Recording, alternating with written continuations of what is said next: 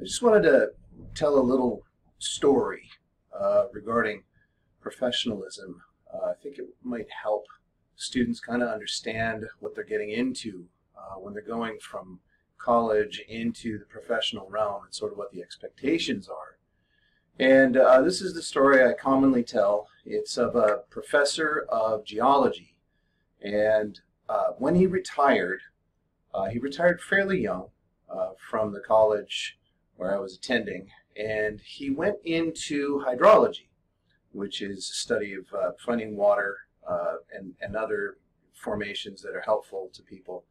Uh, he made a multi-million dollar business out of it and uh, has an international reputation for quality. This is what he said. He said that when he was a, a professor and he was teaching, he said if a student handed in work that got a score of 95% on it, he would be obliged to give that student an A for the, for the project.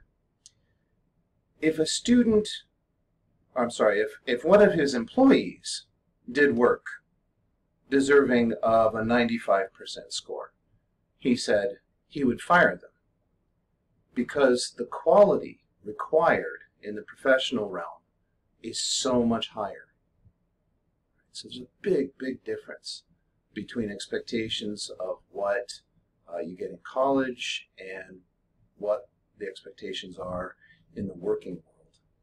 And I want to just convey that to you. I want to share that with you because we're about to embark on a project where we have a real live client and they are very much invested in their success.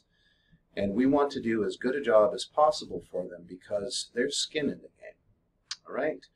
Um, just to put that out there for you, just so you know what you're getting into, uh, you know, on this diving board heading towards your career.